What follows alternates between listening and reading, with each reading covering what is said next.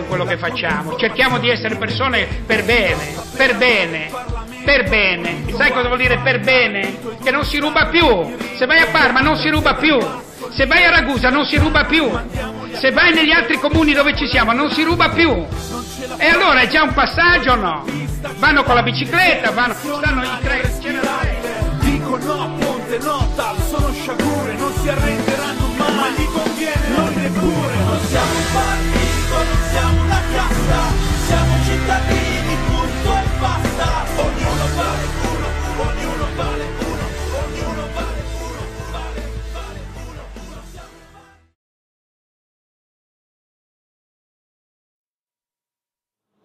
Buonasera, buonasera e bentornati dopo le vacanze.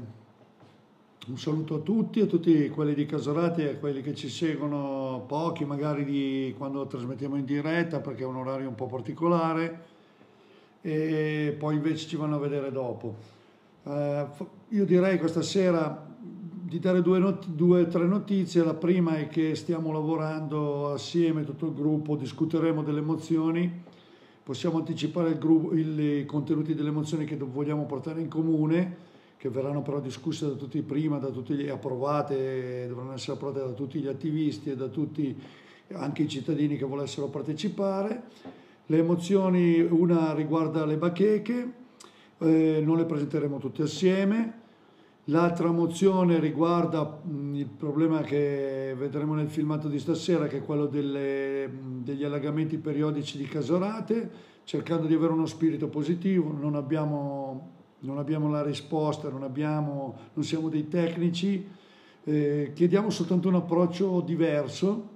Eh, questa è la nostra proposta, assieme a delle proposte pratiche, ma sappiamo che eh, non siamo dei tecnici e che crediamo che poi tutto sommato eh, probabilmente il problema eh, ca- de- mm, di- è portato a diverse cause, per cui dare un'unica risposta potrebbe essere una strada sbagliata come è accaduto fino adesso.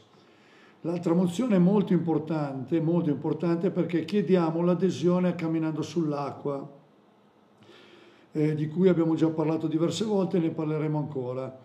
Poi abbiamo già, ci aspettiamo l'interrogazione sulla la, la risposta all'interrogazione che è stata fatta dal nostro consigliere Luigi Matulli, eh, a nome suo, ma chiaramente tutto il gruppo che lo supporta. Mh, l'interrogazione era sul numero di case sfitte esistenti a Casorate, perché purtroppo, lo ripetiamo, eh, l'ente RO spenderà 4 milioni per delle case popolari. Noi diremo mh, molto, abbastanza dettagliatamente, comunque per linee generali, come avremmo eh, preferito, come avremmo speso noi 4 milioni e noi siamo convinti che con questi 4 milioni avrebbero potuto rimettere in moto l'economia locale.